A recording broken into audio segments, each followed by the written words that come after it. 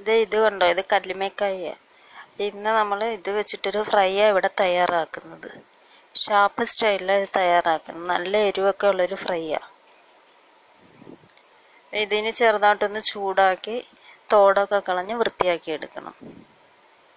ഇനി ഇതെങ്ങനെ തയ്യാറാക്കുന്നതെന്ന് നോക്കാം.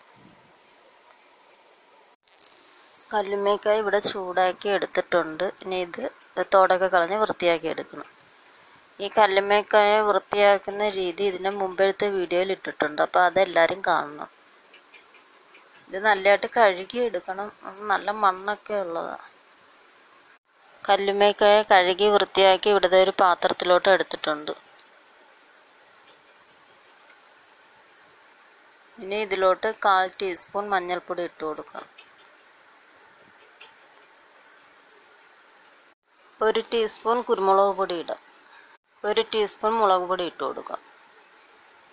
ആവശ്യത്തിന് ഉപ്പ് ഇട്ട് കൊടുക്കാം. ഇതിലേക്ക് അര ഗ്ലാസ് വെള്ളം കൂടെ ഒഴിച്ചു കൊടുക്കാം. എന്നിട്ട് ഇതൊന്ന് വേവിച്ചെടുക്കുക ഫ്രൈക്ക് വേണ്ട മറ്റ് സാധനങ്ങൾ എന്തൊക്കെയാണെന്ന് നോക്കാം. സവാള അരിഞ്ഞെടുത്തിട്ടുണ്ട് ഇഞ്ചി വെളുത്തുള്ളി അരിഞ്ഞെടുത്തിട്ടുണ്ട് തേങ്ങാക്കൊത്ത് വേണം ആവശ്യത്തിന് കറിവേപ്പില വേണം പിന്നെ മസാല ഐറ്റംസ് എല്ലാം ഇവിടെ എടുത്ത് വെച്ചിട്ടുണ്ട്. ഫ്രൈ തയ്യാറാക്കുന്നതിന് വേണ്ടി ഇനി ഒരു പാത്രം അടുപ്പിലോട്ട് വയ്ക്കാം എന്നിട്ട് അത് ചൂടായി വരുമ്പോഴത്തേക്ക് എണ്ണ ഒഴിച്ചു കൊടുക്കുക ചൂടായ എണ്ണയിലോട്ട് ഇനി തേങ്ങാക്കൊത്ത് ഇട്ട് കൊടുക്കുക തേങ്ങാക്കൊത്ത് അങ്ങ് നല്ല ബ്രൗൺ കളറിൽ മൂപ്പിക്കണ്ട. ചെറിയൊരു കളർ വരുമ്പോഴത്തേക്ക് കോരിയെടുക്കുക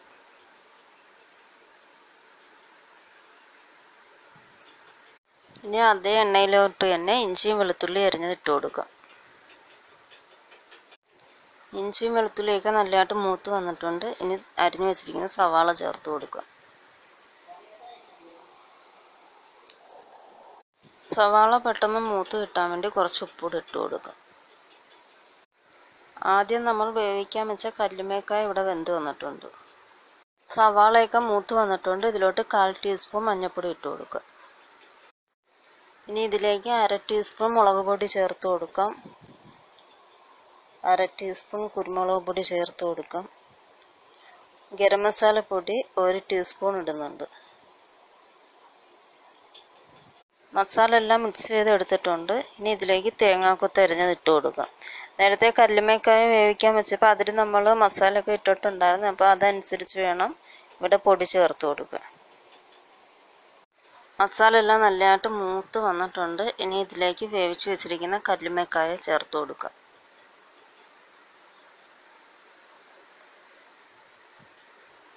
എന്നിട്ട് എല്ലാം കൂടെ നല്ലതായിട്ട് മിക്സ് ചെയ്തെടുക്കാം.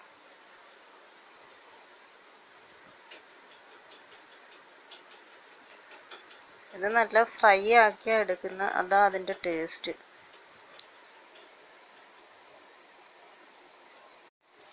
ഇത് അടിക്ക് പിടിക്കാൻ സാധ്യതയുണ്ട് അപ്പം നല്ലതായിട്ട് ഇളക്കിക്കൊണ്ടിരിക്കണം. നല്ലതായിട്ട് മൂക്കുന്നവരെ.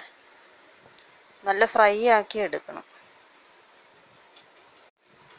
അങ്ങനെ നമ്മുടെ ഷാപ്പ് സ്റ്റൈൽ കല്ലുമേക്കായ ഫ്രൈ ഇവിടെ റെഡി ആയിട്ടുണ്ട്.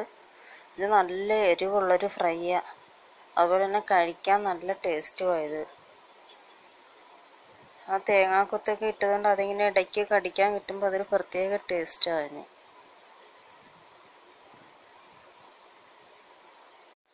എല്ലാവരും ഇത് വീട്ടിൽ ട്രൈ ചെയ്ത് നോക്കണം. ട്രൈ ചെയ്ത് നോക്കിയിട്ട് അഭിപ്രായം അറിയിക്കണം. തീർച്ചയായിട്ടും നിങ്ങൾക്ക് എല്ലാവർക്കും ഇത് ഇഷ്ടമാണ് അത്രയ്ക്കും നല്ലൊരു ഫ്രൈ ആയത്. ഇച്ചിരി വൃത്തിയാക്കി എടുക്കുന്ന പാടേ ഉള്ളൂ.